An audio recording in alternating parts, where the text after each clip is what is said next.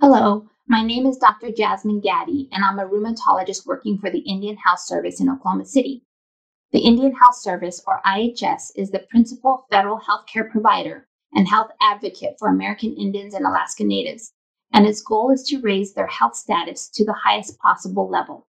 We provide services to approximately 2.6 million American Indians and Alaskan Natives through a network of over 605 hospitals, clinics, and health stations on or near Indian reservations.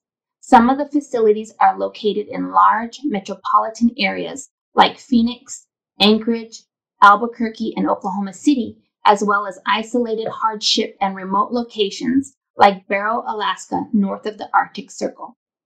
As with any organization delivering healthcare in rural, remote locations, we face a number of challenges, Many of our communities across Indian country have long experienced lower health status when compared with other Americans. Lower life expectancy and disproportionate disease burden exists, perhaps because of inadequate education, disproportionate poverty, and cultural differences. These are broad quality of life issues rooted in economic adversity and poor social conditions.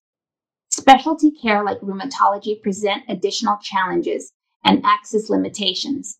I represent only one of a very limited number of rheumatology specialists providing rheumatology services within IHS in a field which is already experiencing a workforce shortage. IHS is working to address many of our challenges through the utilization of telehealth.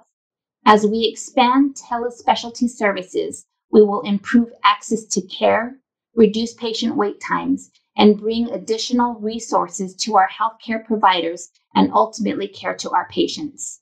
Systemic lupus falls into the category of rheumatology and is a chronic, long term autoimmune disease which can vary from mild to serious in severity. Factors such as gender, race, ethnicity, and age impact the chances of developing lupus. Lupus can cause inflammation affecting multiple organs, such as the skin and joints, or more serious involvement, such as kidneys and lungs. Oftentimes, patients can have nonspecific symptoms, for example, fatigue and fever. And because of this, lupus can be confused with other conditions, such as viral illnesses. It is estimated that as many as 1.5 million Americans have lupus. The prevalence of lupus, in other words, how many people are living with the disease, and the incidence of lupus, in other words, the number of new cases within a specific time period among U.S. American Indians and Alaskan Natives are some of the highest for any group, including rates previously reported for African Americans. It is important to recognize lupus early, as a person with lupus has a much better chance for a full life with a manageable chronic disease when treatment is initiated. Here in Oklahoma, we have observed atypical clinical presentations, making recognition a little more difficult. This underscores the importance of bringing awareness within our American and Alaskan Native populations.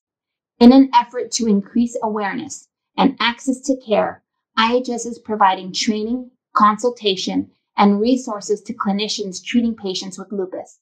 Collaboration with, within IHS and with the community allows for educational series targeting those on our front lines, the local primary care providers, which has expanded lupus evaluation and treatment.